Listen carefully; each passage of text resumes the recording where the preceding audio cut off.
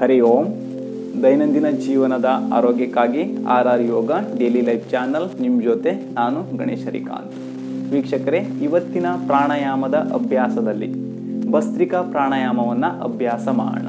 ಭಸ್ತ್ರಿಕ ಎಂದರೆ ಕಮ್ಮಾರನ ಕುಲುಮೆ ರೀತಿಯಲ್ಲಿ ಉಸಿರನ್ನ ಫೋರ್ಸ್ಫುಲಿಯಾಗಿ ಒತ್ತಾಯಪೂರ್ವಕವಾಗಿ ತೆಗೆದುಕೊಳ್ಳುವುದು, ಹಾಗೆ ಅಷ್ಟೇ ಒತ್ತಾಯಪೂರ್ವಕವಾಗಿ ಹೊರಹಾಕುವಂಥ ಉಸಿರಾಟದ ಪ್ರಕ್ರಿಯೆ.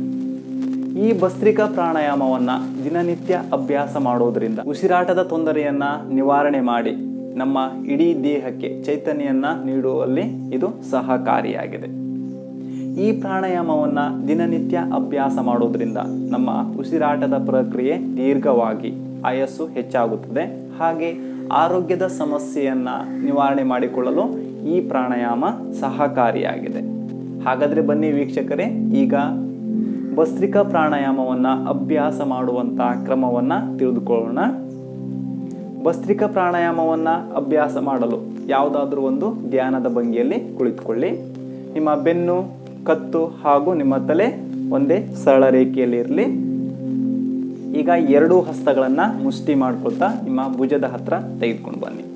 ಆಳವಾಗಿ ಉಸಿರನ್ನ ತೆಗೆದುಕೊಳ್ತಾ ಎರಡೂ ಕೈಗಳನ್ನು ಮೇಲಕ್ಕೆತ್ತಿ ಹಾಗೆ ಮುಷ್ಟಿಯನ್ನು ಬಿಡಿಸ್ಕೊಳ್ಳಿ.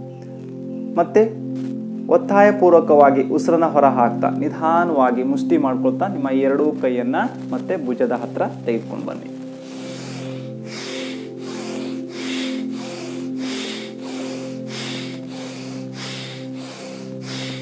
ಈ ರೀತಿಯಾಗಿ. ಈ ರೀತಿಯಾಗಿ ನಿಧಾನವಾಗಿ ಅಭ್ಯಾಸ ಮಾಡ್ತಾ ಅದಾದ ನಂತರ ವೇಗವನ್ನು ಹೆಚ್ಚಿಸ್ಕೊಳ್ತಾ ಹೋಗಿ.